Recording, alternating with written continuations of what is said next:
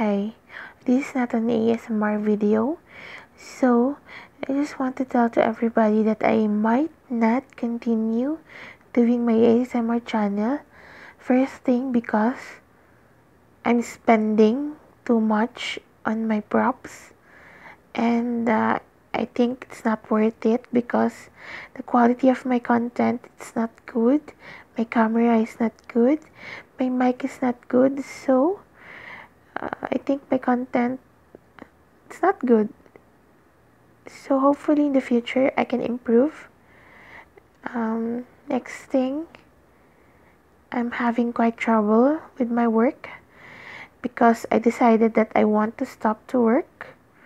So I will go home in the Philippines and I have to pack my things. And then third, lately I get so tired uh, because my work is so difficult. So I don't know.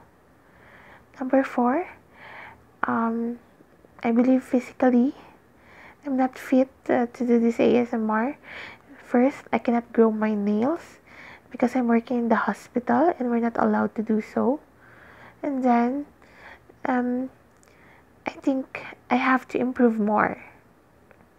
I have to study, be creative, and so on.